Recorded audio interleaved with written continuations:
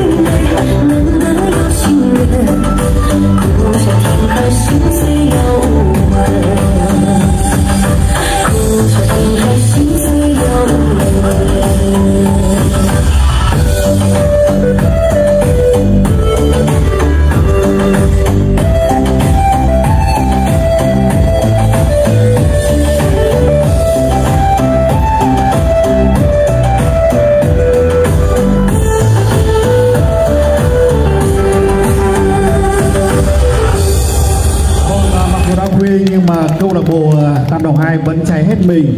Vâng và tiết mục ờ,